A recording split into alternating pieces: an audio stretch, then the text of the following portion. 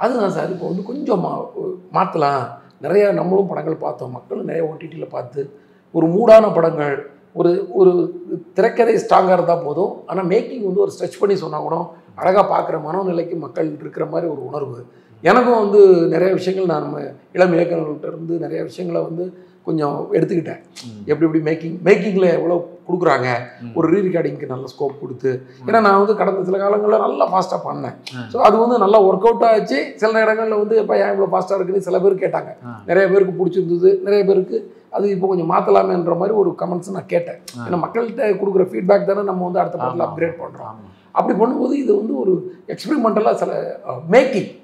Not screenplay or not கதை. அந்த மேக்கிங்கை மட்டும் பண்ணலான்ட்டு தான் சிங்கிள் ஷாட்டில் வந்து சீன்ஸும் பண்ணோம். ஏன்னா சில சீன்ஸ்லாம் வந்து கட் பண்ணால் நல்லா இருக்காது அந்த மாதிரி கனெக்ட்லே இல்லை ஏன்னா ஒரிஜினல் எமோஷன்